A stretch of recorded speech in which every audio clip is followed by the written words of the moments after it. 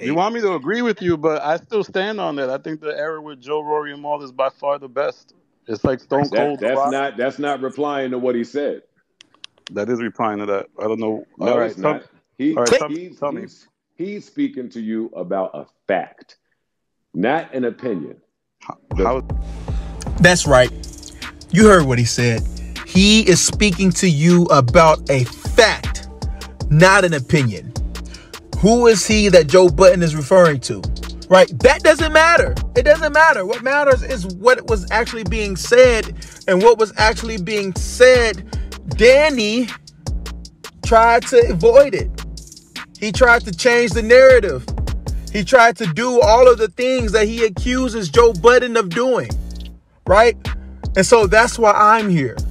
That's why I'm here. I'm here to actually speak the truth to what's happening in the content space.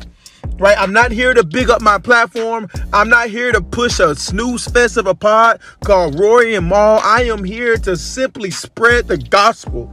That is the truth. Danny, I saw what you said. I saw what you said on your latest video. You said that you and Joe Budden had gotten into a debate on Twitter Spaces. That is not the truth. That is a half truth. What actually happened was Danny from the stop got exposed from Caleb from Twitter. Right? Danny from the stop got exposed by Caleb from Twitter. Right? Danny got exposed for being a hurt Rory and Mal fan. Those are not my words, those are his. Here, take a listen.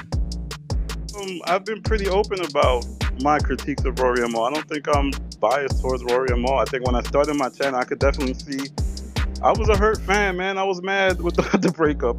That may sound corny, but I was more pro Rory and Mal. But as time went on and I started making more videos, I kind of saw Joe's side a little bit more. So I think now I'm in a better spot than I was when I started. But um, I can see the bias then, but I don't see now.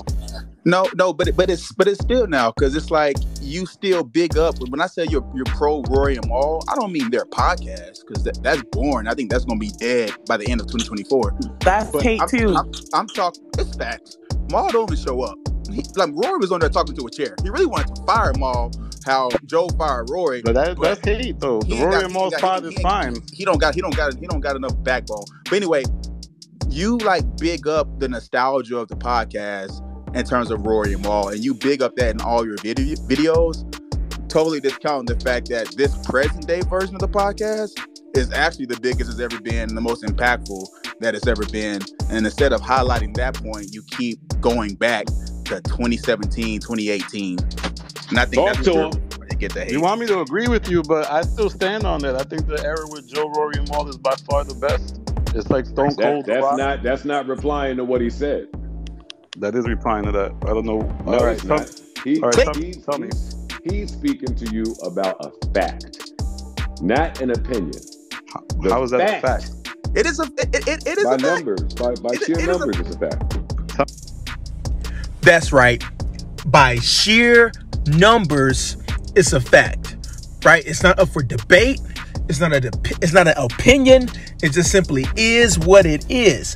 And so Danny, Danny in his latest video, he tried to be slick. He tried to be manipulative. He tried to change the crux of his argument. The argument that was had on the Twitter spaces was not about which one is better. It was about him acknowledging that this version is bigger. Now it's okay for Danny to hold the opinion that the old version of the podcast was better. That's in a creative argument, right? But that's not the opinion that was being, excuse me, that's not the debate that was being had. And Danny, I'm here. Caleb, in the flesh, well, on YouTube, holding you accountable, challenging you to be better, because you are. Let's get it.